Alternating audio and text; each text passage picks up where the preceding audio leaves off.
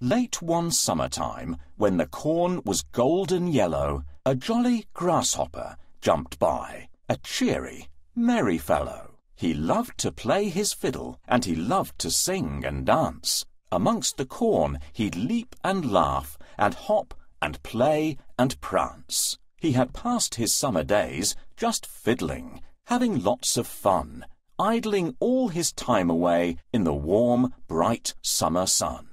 Then, by chance, one sunny day, he met a working ant who was clever, wise, industrious, and very diligent.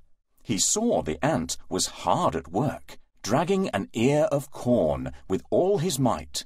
It was twenty times his size, such an extraordinary sight. Goodness! chirped the grasshopper. Why not stop with me and play? Why work so hard on such a bright and glorious summer's day?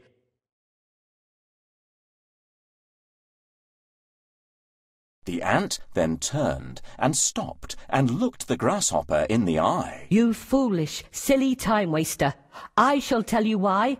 The sun is shining. Yes, of that I am well aware. But I am gathering in the harvest while the harvest is still there. And I suggest you would be wise to follow my advice. Store some food for winter while the weather is still nice.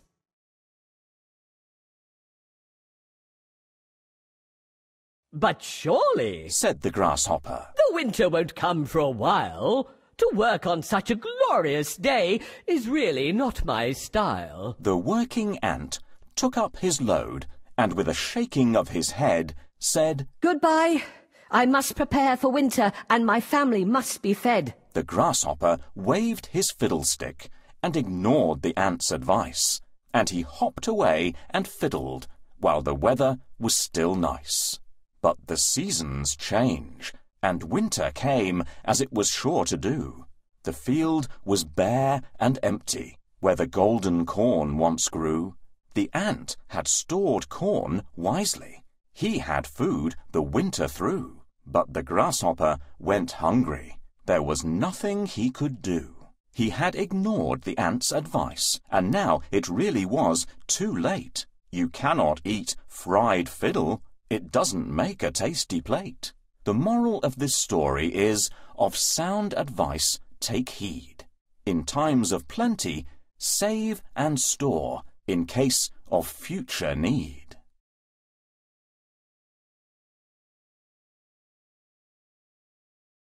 Hey, ants! Why are you working when you can have fun in the summer?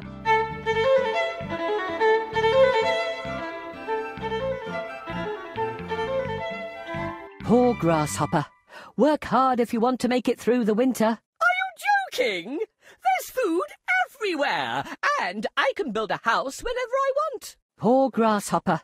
He doesn't know that there'll be no food or shelter in the winter. Hey, why can't you enjoy the summer? Winter is far away. Grasshopper, I hope you'll be fine when winter comes. Ah, it's awesome to enjoy the summer.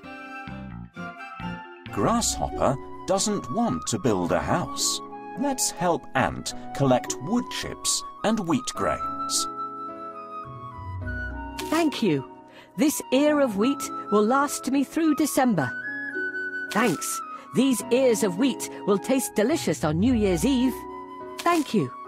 These wood chips will warm my house in the winter. Find a bucket to collect dewdrops, for we need to gather dew now.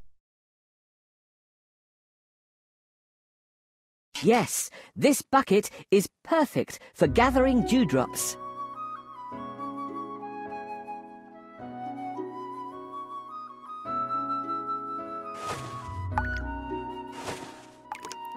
The bucket is only half full.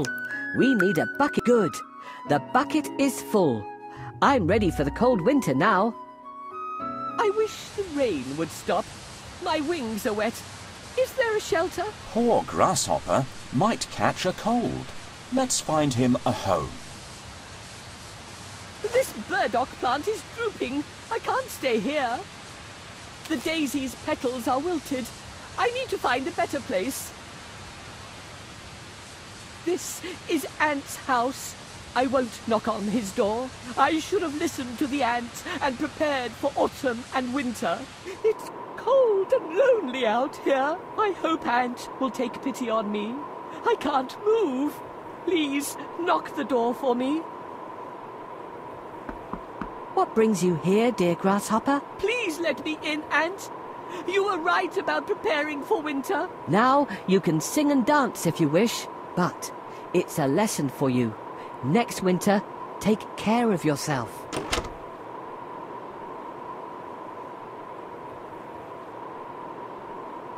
It's cold and lonely out here. It's cold and lonely out here.